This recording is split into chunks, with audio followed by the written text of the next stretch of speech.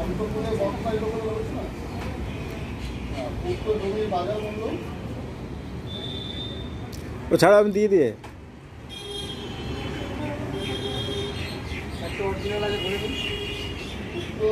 জমির বাজার মূল্য আঠারো লক্ষ পঞ্চাশ হাজার টাকা। কথা এবং অঙ্কে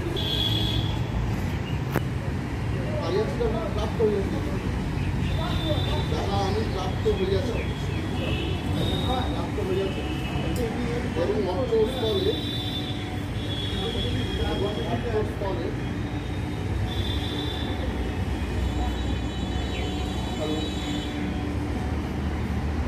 এবং অন্তঃস্থলে ইহার সত্য স্বীকার করিতে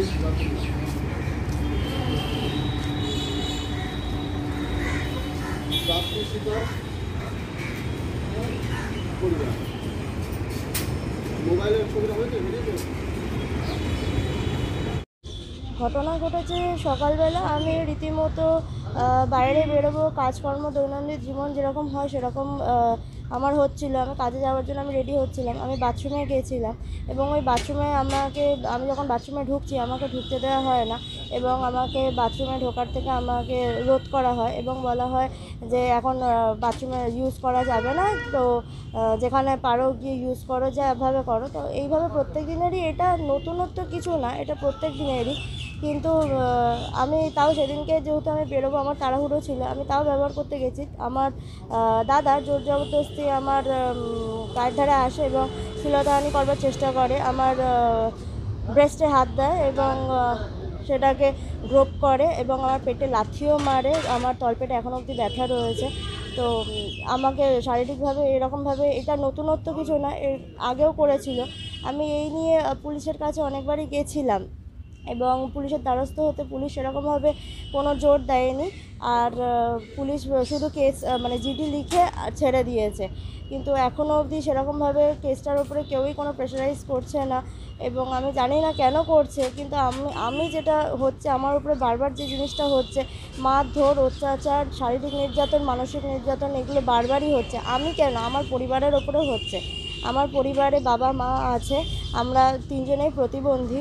তার ওপরে, আমাদের তিনজনকার ওপরে এইভাবে প্রত্যেক দিন, এখন তো নিয়মিতই হয়ে গেছে। আগে যাওয়া একটু কম হতো, এখন প্রত্যেক দিনেরই এটা হয়ে গেছে।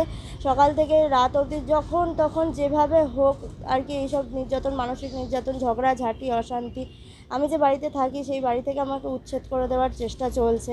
আমি দীর্ঘ বছর ধরে আমার বাবার জন্ম ওই বাড়িতেই।